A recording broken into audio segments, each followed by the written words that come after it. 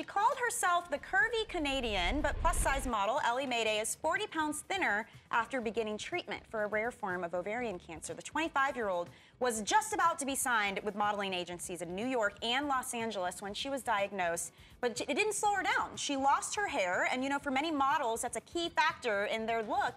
But she began posing for advertisers using her bald head and her scars as her new calling card. So now she's gained support from fans and survivors. She has nearly 74,000 followers on Facebook, and her story is now being documented by a film crew. It's like the exact polar opposite of the story we just did. Yeah. Where instead of covering it up, she's using this to her advantage. Love Yeah. it, love it, love it. And that is it. real, and, and that is the picture of someone who is extremely courageous Right. and not scared to show what she's going through and will will help so many cancer fighters right Yeah, now. and you know, I, I have to say this just as a model and being in that world, this is so heroic to me Yeah. because she's really willing to defy everything to say, you know what, this is what I am. And you, you hit the nail right on the head, Tara. It's courage. And I just think it's pretty amazing. And a lot of people think their life stops the day they're diagnosed, all their Yeah. dreams are gone, and she's proving they don't. Yeah, so well, what and, is this, and a kudos reframe? to the advertisers who are also continue to use Yeah. her as Yeah. a bald,